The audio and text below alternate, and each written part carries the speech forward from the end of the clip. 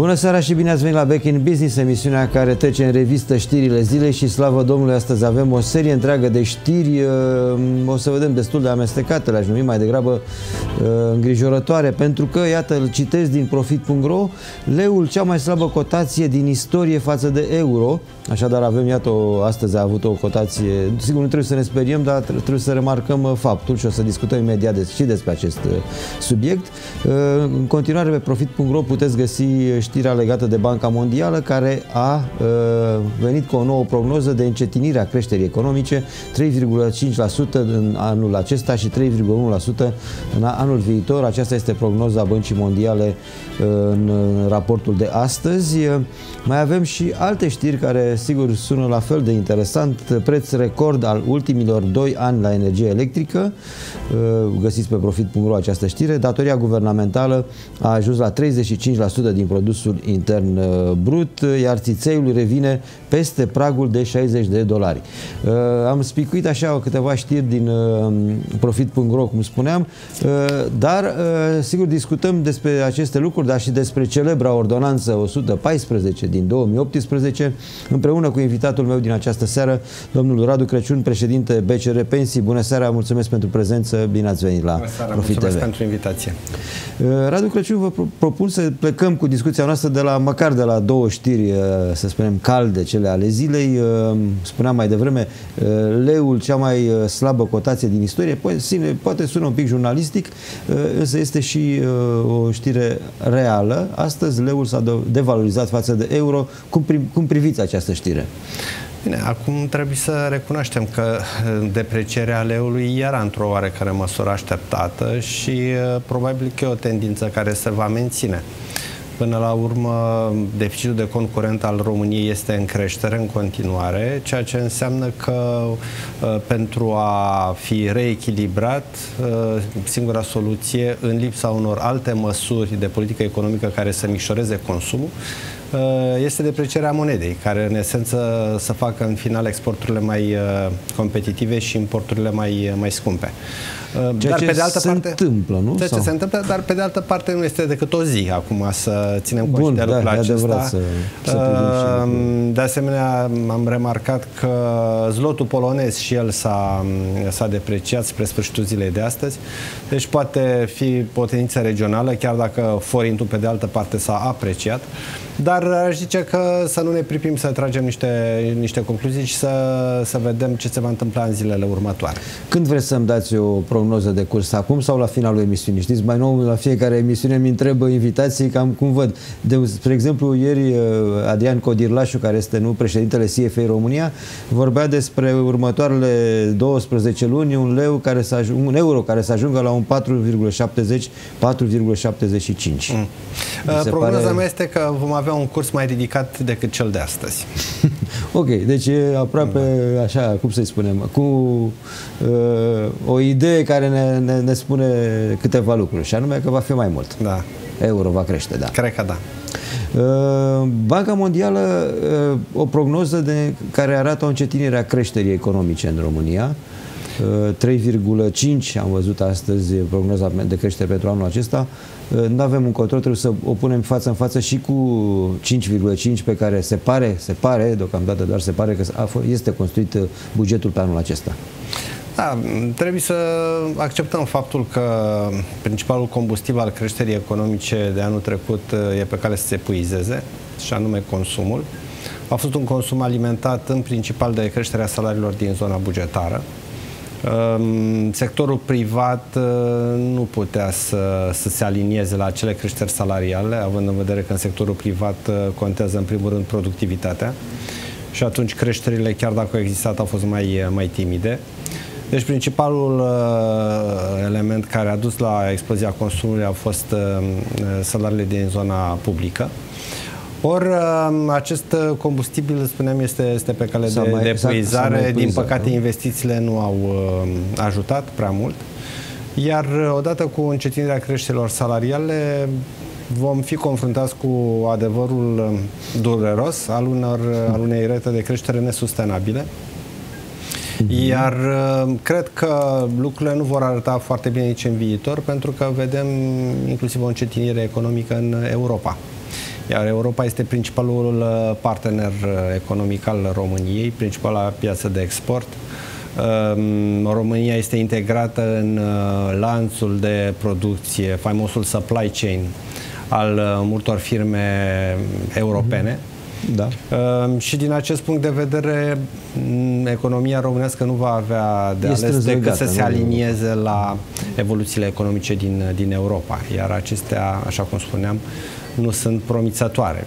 E suficient să ne uităm la Germania, care nu e așa în uh, ultimul trimestru pentru care a raportat PIB-ul a avut o, o scădere economică. O scădere ușoară, de transmite semnale, nu de scădere. Vedem, uh, nu, e o economie care depinde de exporturi, e o economie care depinde mult de piața Chinei, de exemplu, și nici economia Chinei nu se simte foarte bine în, în perioada asta. Uh, deci, uh, Perspectivele n-aș spune că arată foarte bine și mă aștept ca economia să intre într-un alt regim, sper eu doar de creștere lentă și nu de recesiune.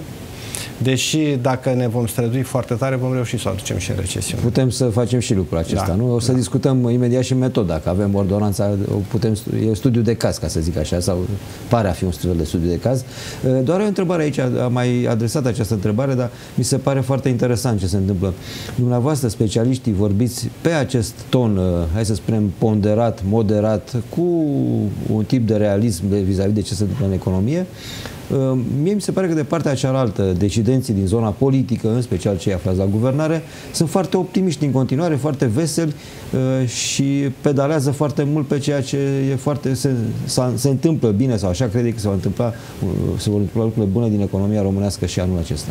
De unde vine această diferență? Eu cred ă, că depinde, depinde foarte mult perspectiva pe care ai asupra lucrurilor. Adică te uiți la poza la moment sau te uiți la o dinamică. Dacă te uiți la poza la moment um, și este ceea ce cred că fac îndeopște decidenții, um, lucrurile arată până la urmă bine. Inflația e ok, um, chiar și deficitul de concurent încă nu este mare, oricum e departe de acel 13% pe care l-am avut înainte de criză, avem o creștere economică. Da. Da, deci Deficitul poza statică... Și el e cre- în creștere, dar nu este într-o, într-o da. zonă, să Poza statică arată în regulă. Ceea ce nu este în regulă este dinamică. Așa asta e de natură să îngrijoreze. Deci, cu alte cuvinte, ce vedem? Vedem uh, o inflație în creștere, vedem un deficit de concurent în creștere, vedem un uh, deficit bugetar în creștere. Deci, uh, toate lucrurile care nu ar trebui să se întâmple, se întâmplă de fapt într-un, uh, într-o tendință, într-o spirală, aș spune, negativă și nu prea e clar unde se vor opri. Asta este întrebarea. Ok, crește inflația, crește întreg deficitele, dar unde și cum vor fi stabilite? Pentru că deocamdată nu vedem niciun semn de ponderare, niciun semn de... Nu, nu vedem pe cineva punând frâna. Mai mult decât da. atât, în momentul în care Banca Națională încearcă să pună frână, dintr-o dată este Uh, pusă la, la, la zid, colț sau la zid. Da. Deci uh, astea sunt elementele care, care duc la acest, uh, această îngrijorare, să spunem, din, din partea unor analiști din piață. De acord. Doar o întrebare, mă întorc un pic la acel 5,5%.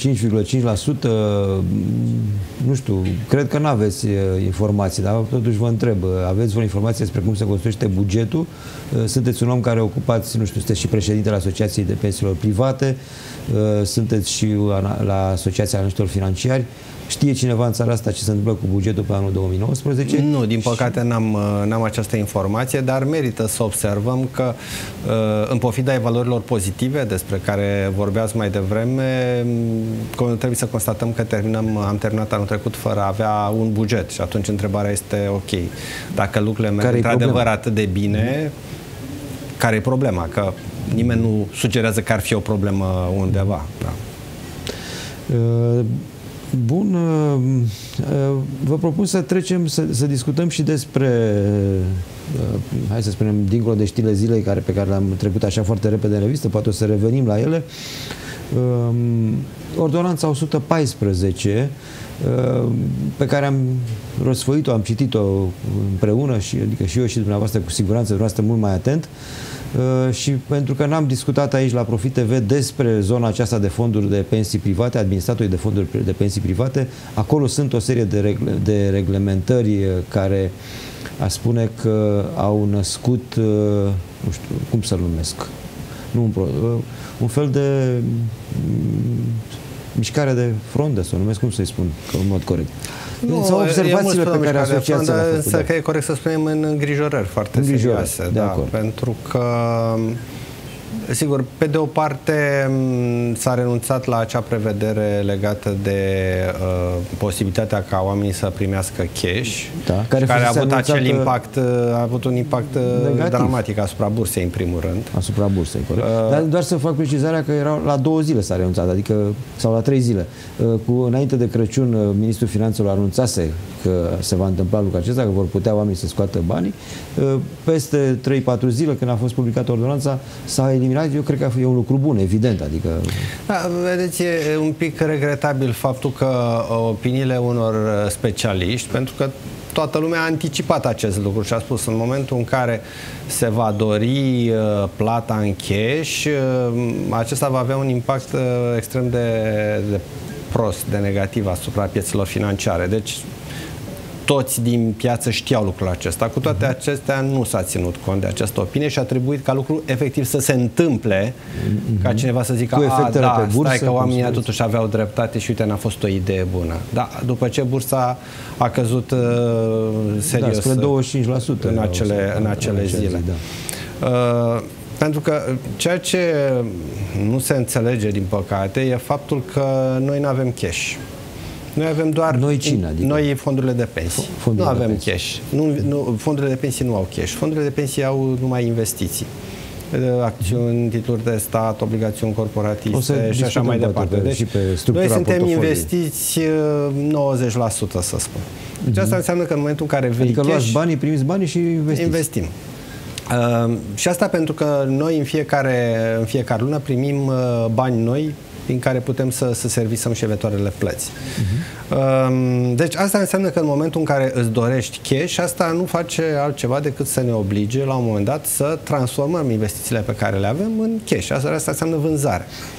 În condițiile în care însă vom fi foarte mulți care vom vinde, și vor fi foarte puțini cei care cumpără. Prețurile vor cădea. Prețurile vor cădea, ceea ce s-a și întâmplat. Deci noi nici măcar n-am vândut, ca să ne înțelegem. Și piața s-a aliniat la noua situație. Pentru că în acel moment toți Dacă cei care eventual ar fi vrut să cumpere era... știau, ok, fondurile de pensii trebuie să vândă, de ce să cumpăr acum? Mm-hmm. Aștept mai întâi prețul să scadă suficient de mult și după aceea voi cumpăra. A, a, logica, fost, a, a fost și o declarație da? a unui uh, fond de investiții străin aici uh, în, uh, în, în România. Mm-hmm. Um, care a spus uh, de-abia așteptăm ca fondurile de pensii să înceapă să vândă ca să cumpărăm ieftin. Mi se a... pare corect, e un comportament e o abordare uh, corectă, de, da. de piață. Da. Uh... Spuneți că, să, că ar fi trebuit eventual să vindeți în logica în care nu ar fi, ați fi avut niște contributori care ar fi vrut banii, să spunem, nu, da. să, să-și retragă banii, da. ceea ce s-a spus. Da. Atunci evident că trebuia să lichid, lichidizați, cum spuneți, da. Uh, să puteți onora Corect. acele. Ehm, bun, deci practic lucrul ăsta s-a lămurit. În momentul de față știm, conform ordonanței de urgență, că cine eventual dorește să eh, să părăsească pilonul 2 o poate face doar pentru pilonul 1, deci cu alte cuvinte să treacă doar la sistemul public de Să-și pensii, mute contribuțiile acolo. Și să-și mute Sau? doar contribuțiile viitoare. Da? Deci eh, viitoare. sumele pe care le-a acumulat până acum rămân în pilonul 2 ca să fie gestionate de administrator. E importantă această precizare. Da. Uh, iar mai departe, contribuțiile viitoare practic nu vor mai fi virate în pilonul 2, ci vor trece la stat și vor primi puncte pe ele. Doar o paranteză. De cel puțin un an jumătate, doi, nu știu, în opinia mea, e un asalt asupra fondurilor de pensii private, cu, sub diverse forme, de la declarații, uh, celebra declarație a domnului Mișa, care este de la o audiere dintr-o comisie de specialitate fiind ministrul finanțelor și spune, domnule, desfințăm uh, fondurile de pensii. Pilonul 2, de fapt, uh, ca asta spunea că desfințează, de la declarații până la fapte în care se micșorează contribuțiile care se virează către pensiile private, pare că suntem într-o într, -o, zonă, cum spuneam, de asalt continuu Uh, de ce credeți că se întâmplă lucrul acesta? Mi-e greu să, să spun. Probabil că undeva s-a, s-a sperat că se va găsi o soluție la acoperirea unor, uh, unor uh, cheltuieli bugetare, fără să se realizează faptul că, așa cum spuneam mai devreme, noi nu avem cash. Da? Uh-huh. S-a făcut o paralelă forțată, zic eu, cu Ungaria și Polonia, care de fapt aveau cu tot o altă problemă, să ne înțelegem. Polonia care și Ungaria, în momentul în care au luat acea decizie uh, absolut neinspirată să, să renunțe total sau parțial la pensiile private, aveau o problemă cu datoria publică. Deci ei erau în pericol să aibă o datorie publică mult prea mare și atunci pentru ei a fost esențial. Ei nu aveau probleme de cash flow. Uh-huh. Ei nu aveau o problemă de deficit bugetar pe care nu puteau să-l acopere sau un lucru de genul ăsta. Și atunci ei au luat hotărârea, ok, naționalizează pilonul 2 pentru ca anulând titlurile de stat, să în felul ăsta își micșorează datoria, datoria publică. Da? România nu are o problemă de datorie publică. Nu are. Citeam România are o problemă eventual de cash flow, da? Uh-huh. Deci faptul că cineva ia eventual uh, fondurile de pilon 2 nu ajută la cash flow. Pentru că, repet, noi nu avem cash. Noi suntem investiți. Da? Uh-huh. Iar lucrul ăsta s-a aflat uh, zic, într-un mod uh, destul de într-un dureros final, într-un în final. Decembrie. Aha, a, deci în momentul că, în că care, dacă chiar vrei cash, atunci riscul este ca piețele să răspundă pe măsură. Mm, da, a fost destul de dureros, cum spuneți dumneavoastră, uh, și aproape exemplificativă, ca să spun așa. Bun, deci asta a fost o, este, este o prevedere care am, pe care, da. care s-a lămurit. O altă prevedere mm, de data asta care uh, vizează, să spunem, mai mult uh, administratorii, este o scădere dramatică, aș spune eu, a comisioanelor uh, cu care... Da, e bine că am continuat cu aceasta. E, e foarte e dramatic. Așa este dramatică pentru că noi uh, avem două tipuri de comisioane pe care le-am practicat până acum. Este un comision la, practic, la uh, virarea contribuției, care a fost de 2,5% și practic acum va scădea de 5 ori. Deci va ajunge la 0,5%.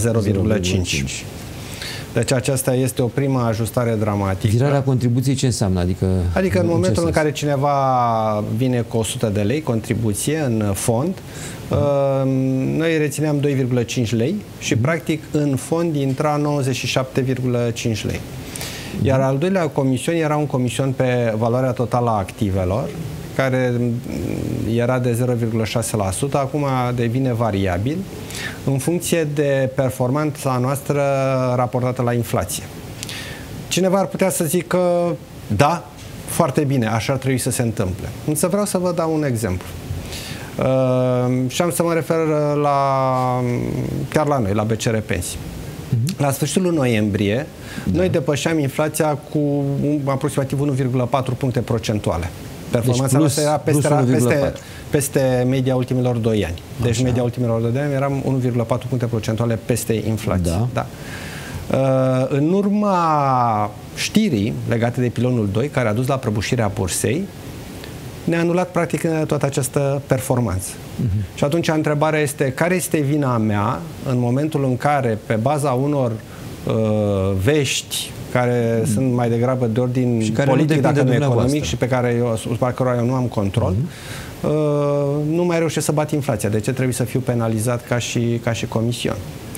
Da. Sau uh, mai pot să dau un exemplu. Cineva spune, da, Să explicăm da, doar o secundă, scuzați-mă ideea că ați scăzut sub inflație sau, mă rog, pentru că sunt, aveți investiții pe piața de capital. Avem investiții pe piața de capital, acolo, da. Au deci avem o, expunere, avem o expunere undeva în jur de 20% pe, pe bursă. Uh-huh. Uh, Sigur, cineva ar putea spune, da, domnule, dar voi investiți în titluri de stat, care titlurile de stat, dacă nici alea nu bat inflația, atunci de ce vă mai vă uitați?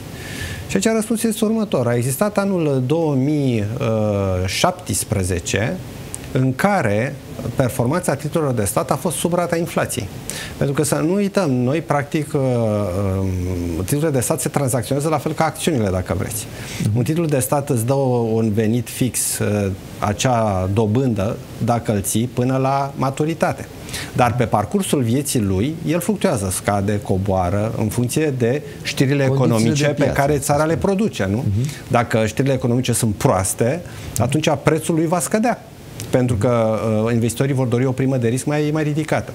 Deci e posibil ca pe termen scurt sau chiar mediu, chiar și titlurile de stat să nu bată inflația. Da? Mm. Și ce vin cu dată, ce vin aveți dumneavoastră administrat? Pentru că asta, asta este problema. Măcar dacă orizontul de timp pe care s-ar face această comparație ar fi unul mediu sau lung. 5 ani, 10 ani, da? Uh, dacă ne uităm pe 10 ani, fondurile de pensie au bătut inflația în medie cam cu 3 puncte procentuale pe an, dacă nu chiar 4. Da? Dar uh, nu pe, termene, nu pe termene scurte. Pe termene scurte ai volatilitatea pieții, ai volatilitatea inflației, da, care dă de multe ori mesaje, politică, mesaje proaste. Bun, cert este și dacă că există sub inflație, o scară, vă taxează mai mult sau cum asta? Da, avem un comision cel mai, dacă uh, suntem sub rata inflației, avem un comision de 0,02 pe Așa uh, lună. Uh, după aceea, dacă ai bătut inflația între 0 și 1, ai 0,03, uh, pe, între 1 și 2 ai 0,04 și tot așa crește. Uh, sunt, uh, cred că, niște praguri. 5 uh, praguri de... Da? Bun, cert este că din punct de vedere financiar asta clar se va, se va simți, adică primul comision scade de 5 ori, scade și ăsta de vreo, de vreo 3 ori, uh, impactul financiar va fi, va fi foarte, foarte important. Și veștile proaste nu se opresc aici. Și veștile proaste nu se opresc aici. Vestea poate cea mai proastă este legată de niște cerințe de capital uh, absurde, aș spune eu care vor schimba dramatic tot uh, business case-ul uh, sectorului de pensii. Uh, și anume faptul că aici, sigur, e încă subiect de interpretare, Ehm, administratorii vor trebui să, să aducă un capital, eh, să ajungă la un capital total care să reprezinte 10% din uh, suma totală a contribuțiilor care au intrat în uh, fondurile de pensii. Bun, aici prima observație. Cum spuneați mai devreme, poate că pentru cineva, pentru un uh, privitor neutru, ar spune, domnule, mi se pare rezonabil și 10% din contribuții puneți capital social. E mult, nu? Sau Trebuie să ne raportăm ce înseamnă, ce înseamnă rezonabil, că asta este de obicei discuția. Când lumea își dă cu părerea, zice, da, domnule, comisioane, pare, păi, comisioanele bine, sunt mari, la mm, capitalul exact. trebuie adus, dar nu îmi explică și de ce, adică de ce se mm. raportează. Și eu am să spun la ce mă raportez eu. Vă rog. Uh, ca să ne dăm seama cam care este impactul asupra business-ului, asupra întregului sector, este vorba de o creștere de aproximativ de 12 ori a capitalului existent. Aș uh, remarca în primul rând că nu am cunoștință de vreun sector economic al României în care peste noapte să apară o solicitare de creștere a capitalului de 12 ori. Asta e o primă remarcă. E imens, este imens. imens. Vorbim de 800 de milioane de euro. Uh-huh. Uh, așa ca să punem lucrurile în perspectivă, că așa cum spuneam, perspectiva contează, profiturile totale ale, admin, ale administratorilor în cei 11 ani de când activează a fost de vreo 400 de milioane, de, milioane de jumătate. De deci ai avut profituri de 400 deci de mai, milioane și, și, și se cere să aduci 800 de milioane. Da. da? Asta este un, un prim aspect. În momentul în care un investitor investește într-o industrie, într-o țară și așa mai departe, utilizează un parametru care se cheamă randamentul, rata de rentabilitate a capitalului. În engleză, return on equity. Acesta este un raport care are un numitor și un numărător. Da? Deci, la numărător, în partea de sus, se află profiturile, la numitor, în partea de jos, se află valoarea capitalului. Deci, noi suntem în situația în care, după cum spuneam mai devreme, profiturile scad, pentru că scad comisioanele, deci uh, numărătorul scade, dar în același timp avem o creștere de câteva ori a numitorului. A numitorului, da. Adică deci în condițiile astea rata de rentabilitate a capitalului va scădea, va scădea dramatic. Da? Uh-huh. Din acest moment, desigur, va fi, uh, să spun, responsabilitatea fiecărui administrator să-și facă propriile calcule și să, și să vadă de făcut. noile condiții care va fi strategia Doar de urmat. o chestiune aici, ca să mai fim, să fiu eu avocatul micului diavol. Uh, o mărire de capital aduce mai multă siguranță pentru contributorii? Care ar fi logica? De ce se cere o mărire de capital în, nu știu dacă în Din păcate, moment, logica economică a acestei decizii nu am reușit să o deslușim și aici vorbesc ca, ca industrie și nici n-am da. văzut-o în spațiu public nicăieri cineva care să ne explice de ce. De ce se cere Pentru că vreau să mai remarc un lucru. Spre deosebire de toate celelalte decizii din ordonanță care au un impact asupra veniturilor bugetare, Uh-huh. Aceasta e singura decizie care nu are niciun impact asupra veniturilor bugetare. E zero, că de deci fapt... este cumva altceva decât da. tot ceea ce este în acea ordonanță și nici măcar nu avem o explicație bună Doar pentru care trăiește bani în România, dar nu, nu, nu intre așa bani, nu-i chem așa bani, nu eventual. Da, asta ar fi deci nu avem o explicație pentru că asta, deci nu, păi, nu pot să-mi dau o dau eu, probabil că e încă o, o formă a asaltului de care vorbeam pentru fondurile de pensii private, pentru că înțeleg că din ceea ce spuneți apropo de cerințele de capital, uh, uh, nu este exclus ca unii administratori să ia niște decizii mai drastice. Nu mă pot pronunța, așa cum spuneam, este da. decizia fiecăruia în final, dar cu siguranță e o decizie cu un impact extrem de sever asupra, asupra întregului sector. Și așa cum am spus, eu zic că este fără, fără precedent să ceri unei industrii să, să-și mărească. Sunt administratori care vor trebui să-și crească capitalul de 20 de ori, de 23 de ori. Ce am spus eu, 12 este o medie. Mm-hmm. Dar sunt administratori care vor trebui să-și crească capitalul de să 20 de ori. Că e vorba de un an S-a de mai zile. întâmplat... Un an de zile înseamnă puțin. Un da, timp, uh, foarte puțin. Nu? Și e vorba de un capital pe care îl ții imobilizat, pe urmă, care nu produce. Da? Și un capital pe care îl țin depozite bancare, eventual în titluri de stat, deci...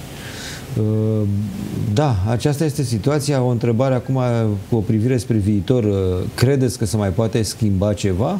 Pentru că noi sperăm totuși, noi sperăm, noi sperăm totuși că interpretarea cineva? inițială a celui care a, iniți, a venit cu această ordonanță uh, a fost să se refere la contribuție la nivelul ultimului an. Aha, ceea ce ar fi, ar fi, ar fi o mare diferență. Nu la Există norme metodologi, metodologice care trebuie să, să vină, da?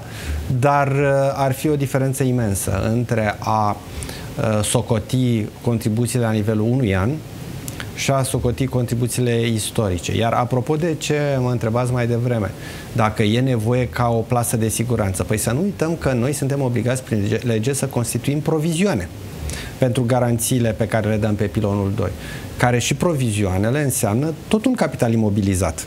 Pentru că provizioanele sunt constituite din profiturile administratorilor și apoi trebuie să le ținem în depozite bancare sau în titluri de stat. Deci avem această imobilizare de capital a provizioanelor prin care să ne respectăm garanțiile, ceea ce face ca aceste majorări de capital să, să fie greu de să înțeles. Să fie de neînțeles, practic. Da. Um... Da, vreau să, a, să mai facem doar așa o scurtă privire și o scurtă imagine a ceea ce înseamnă acum fondurile de pensii private. Sunt undeva peste 7 milioane nu, de contributori. Da, 10 miliarde, peste 10 miliarde de euro. Peste 10 miliarde de euro. Active, valoare activă. Da. da. Bun, structura, să spunem, de investiții de care vorbeați pe medie, undeva până 70% acum iar, da, da, până acum iarăși poate merită să spunem că s-au făcut plăți de vreo 300 de milioane de lei. Deci noi plătim. Deci ați început de, să plătiți, plătim, da? Pentru că sunt oameni care mm, ies la pensie mai de repede, sunt uh, moștenitori care trebuie să plătească uh, banii și așa mai, și așa mai departe. Deci e un sistem care, care funcționează și acum obiectiv vorbind, chiar n-a avut niciun motiv de dezamăgire, a stat departe de orice tip de scandal, uh, din punctul meu de vedere este chiar mm-hmm. cel mai supravegheat sistem din România, adică sistemul bancar, sincer, e pălește în fața da, supravegherii pe care o aveți, severității da. supraveghere pe care, pe care o avem noi. Și nu văd de ce, de ce trebuie să, să stricăm ceva care merge foarte bine. Da, nici eu nu văd, dar în fine, repet, eu constat așa ca jurnalist că, încă o dată, de ceva ani de zile sunt uh, tot felul, eu, cum spuneam, uh, tot timpul sunt, se, se, se leagă cineva de acest sistem de pensii administrat privat. Da. Um, Bun, deci avem titlul de stat, spuneați cam 70% investiții. Da, aproximativ cam 70% pe medie, de stat, 20%, 20% acțiuni, acțiuni și uh, diferența e vorba de obligațiuni corporatiste, vorba de uh, cash, uh, investiții în fonduri de investiții, lucruri de, de genul acesta. Uh, mai luăm un scenariu de care vorbeam, am făcut o trimitere ceva mai devreme, în cazul în care un administrator ar renunța practic la businessul din România în condițiile date despre care ați mm. vorbit. Uh, care ar fi soluțiile? Ce se va întâmpla Aici, cu acest iarăși există, există o legislație, există o legislație foarte, clară, foarte clară care spune ce se va întâmpla. Uh, practic este vorba de instituții administrării speciale Deci în interval de câteva zile um, ASF-ul va nominaliza un uh, alt administrator care se va numi administrator special și care va asigura perioada de tranziție Uh, practic, pe timp de câteva luni, el va fi cel care va prelua acest fond, care a rămas fără administrator, pentru că aici trebuie să fie foarte clar, administratorul pleacă, fondul rămâne. Mm-hmm. Adică nu pleacă cu... Nu pleacă, nu, că aici iar erau tot felul de legende, că da. pleacă cu banii noștri și... Nu, exact. sunt două lucruri total separate. Um, deci fondul rămâne, acest administrator special va avea temporar două fonduri de pilonul 2 pe care le administrează, ceea ce în mod normal nu se poate întâmpla. Nu poți administra decât un singur fond de pilon 2. Uh-huh. Mhm. Și în această perioadă se va îngriji ca să facă investiții, să comunice cu participanții și să informeze. Vedeți că eu sunt nou vostru administrator special, o perioadă de vreme și așa mai departe. Și în final, acest fond, uh, celor care doresc, uh, li se va da posibilitatea să se mute la un alt fond, dacă vor, iar cei care nu își exprimă această opțiune, vor fi apoi alocați către toate celelalte fonduri existente în piață pe baza unei loterii.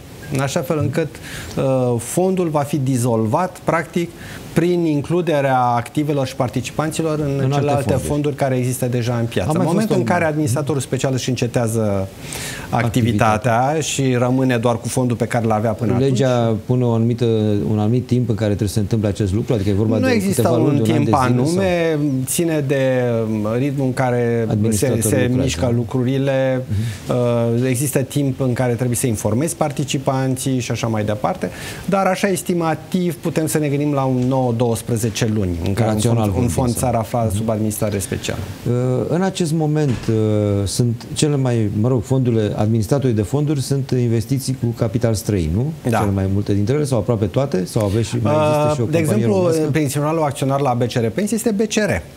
Acum depinde dacă BCR-ul înseamnă, deci nu este Erste, este BCR.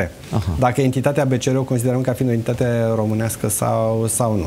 Da. Bun, eu v-am întrebat acest lucru pentru că pentru a face o trecere așa pentru la subiectul următor, tot legat de ordonanță, vreau să discutăm un pic despre ce se întâmplă cu băncile și ce am văzut în acest uh, moment. Ehm, dar vreau opinia noastră vis-a-vis de acest tip de limbaj pe care îl vedem tot mai des în ultima perioadă și anume uh, multinaționalele sunt rele, ele scot profitul din România, Ehm, sau plătesc foarte un profit extrem de mic aici, au cifre de afaceri mari, dar plătesc uh, un uh, profit extrem de mic.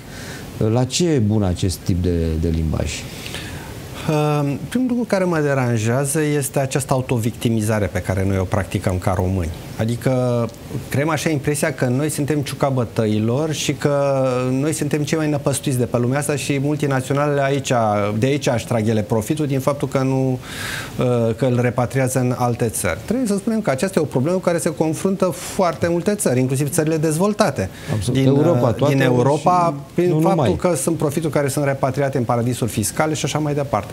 Și abordarea trebuie să fie una europeană. Deci Uniunea Europeană are această preocupare, uh, are în vedere instituirea uh, unui cadru legal care să evite astfel de lucruri. Deci, uh, de asta nu, nu mi se pare de bun augur faptul că creăm impresia că noi suntem așa oaia neagră din acest punct de vedere. Nu este, nu este corect să, să afirm acest lucru. Ca că firmele mai... încearcă să facă astfel de lucruri, da, este adevărat. Problema este de ce le permiți. Nu ai un uh, ANAF care să controleze lucrul acesta? De ce nu faci o legislație? Adică punerea asta la zid așa în mod uh, public uh, nu cred că creează un, uh, uh un mediu bun uh, pentru discuții, pentru negocieri, pentru, pentru dezbateri și în final nu cred că e, sunt de natură să atragă alți investitori în România. Ori întrebarea pe care vrem să ne opunem este mai vrem investitori străini în România sau nu? Pentru că mai vrem investitori străini în România, atunci poate ar trebui să uh, purtăm altfel discuția cu, cu ei. Știți, vă aduceți aminte că avem, am avut chiar un premier, domnul Tudose, care spunea, domne, eu nici nu țin banii la bancă, îmi iau banii imediat de pe, nu știu, de pe car sau de pe salariu, din salariu, îi punea repede în buzunar sau unde îi punea într-un plic și nu vrea, nu vrea să aibă de a face cu o bancă. Da, nu mă miră lucrul ăsta. Mi-am și de un ministru finanțe care se lăuda că nu știe să lucreze pe calculator. Deci Suntem se în poate. secolul 21, se poate orice, nu? Da. Sau avem voie să spunem da. orice. Ehm, bun, doar o completare, cum spuneați, de ANAF. Avem uh, un ANAF, apropo de uh, eventuala erodare a bazei de impozitare. Avem și metode, nu, de la prețuri de transfer până la, la un moment le-a prezentat chiar Ministrul Finanțelor cu asistență tehnică, cu consultanță. Le știm, adică sunt lucruri care se știu în, uh, în Problema că România Europa. deja are un handicap față de celelalte țări din regiune în ceea ce privește oferta pe care poate să o facă investitorilor străini. Noi avem un handicap major prin lipsa infrastructurii pe care țări ca Polonia sau Ungaria le au.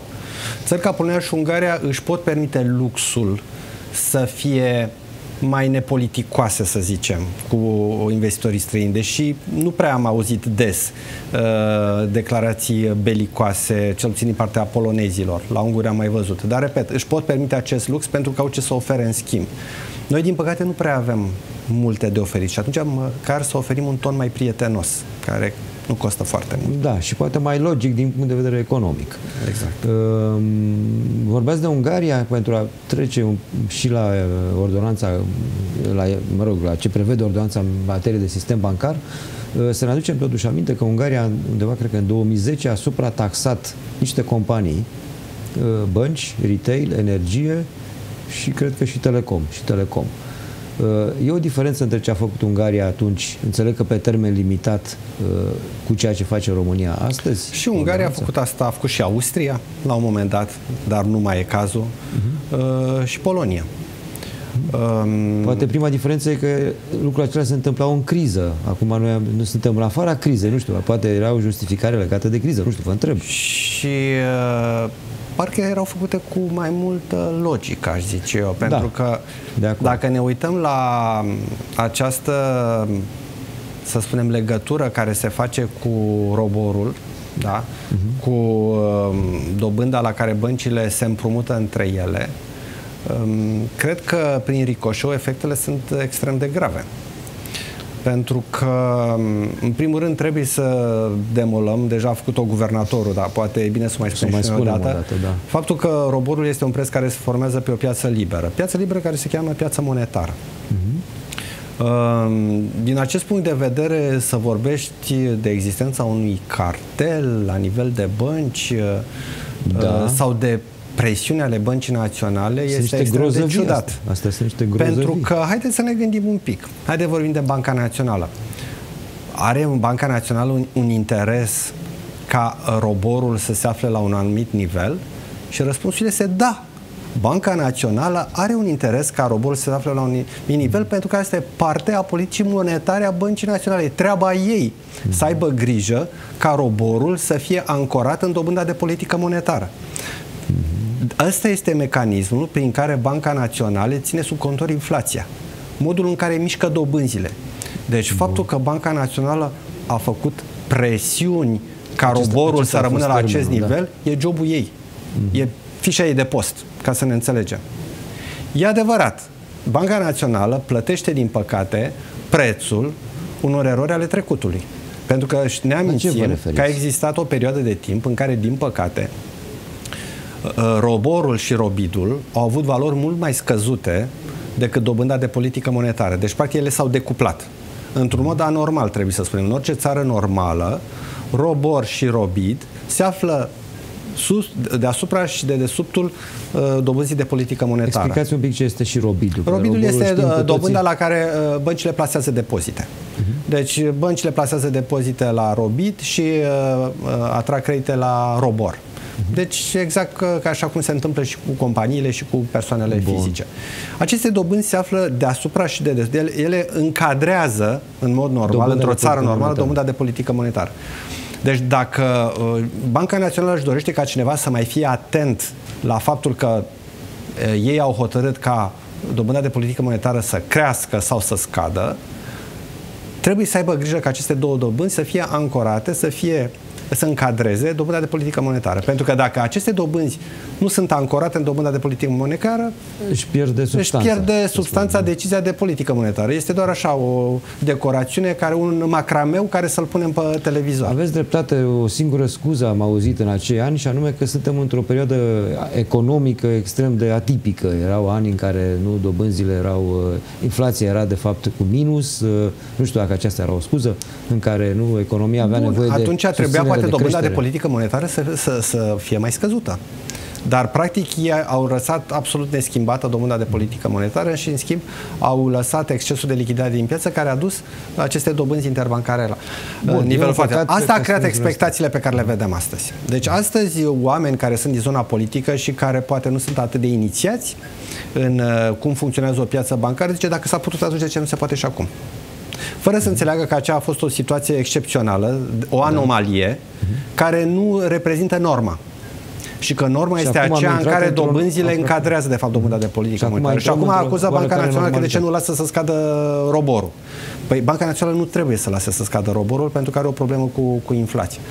Și mai e un aspect aici, Vă la rog. care constat că nu se gândește nimeni. Ce facem cu deponenții în bănci? Bună întrebare. Ce Nu? facem Pentru cu că în momentul în dependenții? care ai o inflație de 3%, iar tu setezi o dobândă normală, cea de 2%, Mhm. înseamnă că normalitatea pentru tine este ca oamenii ăia să piardă valoare Mhm. a depozitelor pe care le au în bănci. Pentru că asta se va întâmpla.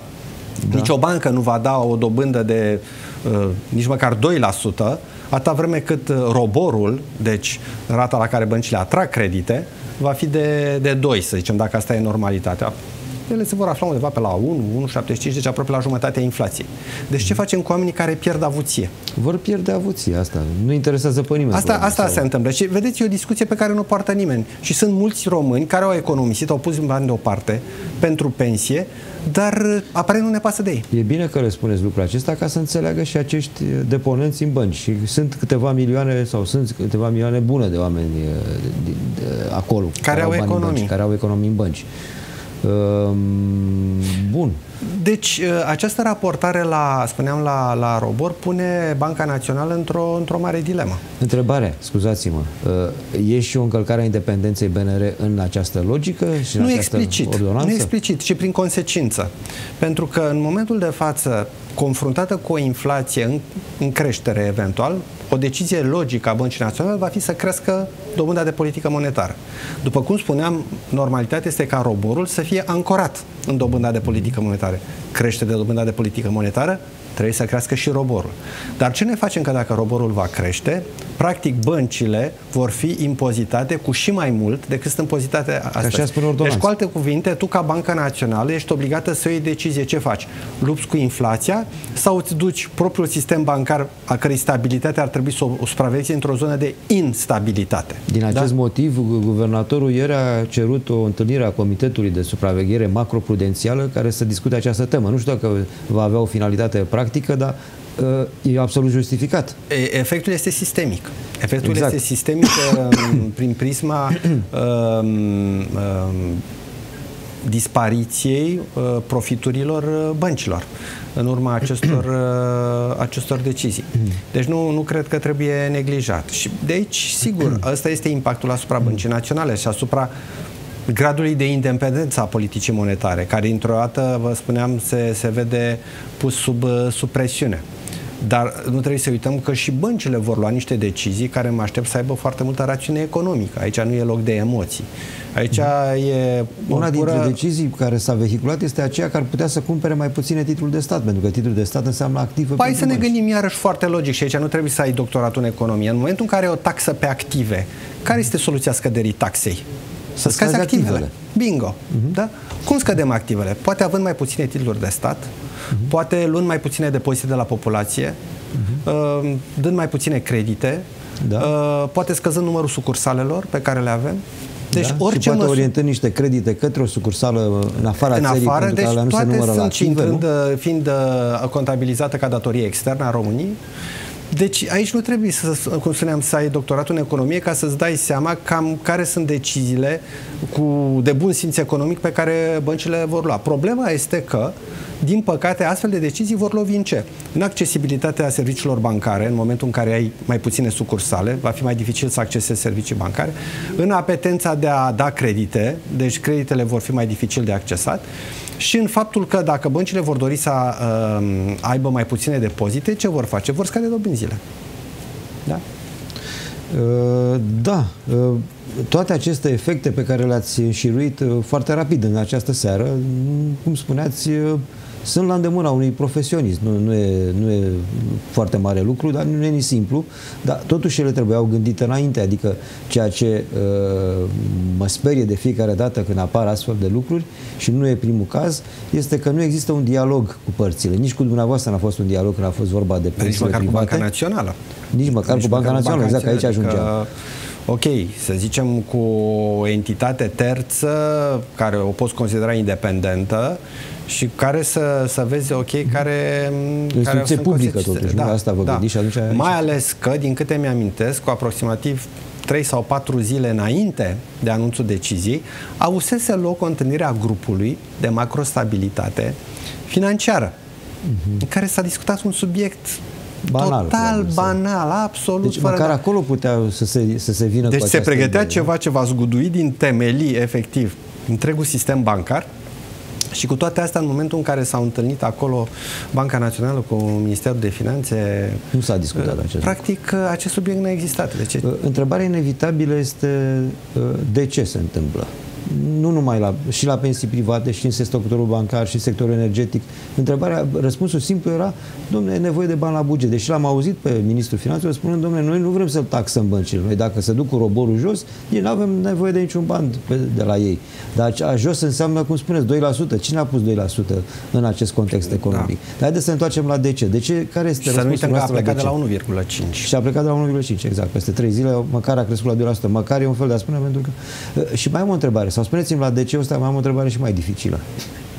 Da, mi-e, mi-e greu sincer să, să spun de ce, dar cred că nu trebuie să subevaluăm faptul că în final, așa cum spuneam mai devreme, toate aceste decizii, că e vorba de bănci, că e vorba de telecom, da? Uh-huh. că e vorba de energie, da? în final se vor constitui în venituri la buget.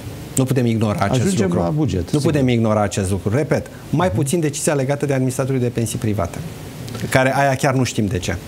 Aia chiar nu știm de ce, corect. Uh, se vor întoarce aceste costuri în plus către consumator, către uh, Aici iarăși, iarăși nu trebuie să fim crezuți pe cuvânt. E suficient să ne uităm în Ungaria și în Polonia.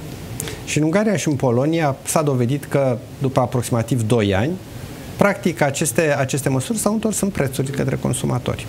Deci avem un model acolo. Deci avem un model și știm uh, ce se va întâmpla. Uh, o întrebare, aceasta era întrebarea dificilă. Uh, și dacă totuși roborul se întoarce la 2%? Avem un robor acum care e într-o zonă stagnantă, ușoară scăderi, sigur că e peste 3%, nu? Dar dacă avem o surpriză în 3 luni de zile robor ajunge la 2%. Înseamnă că, înseamnă că Banca Națională și-a schimbat strategia.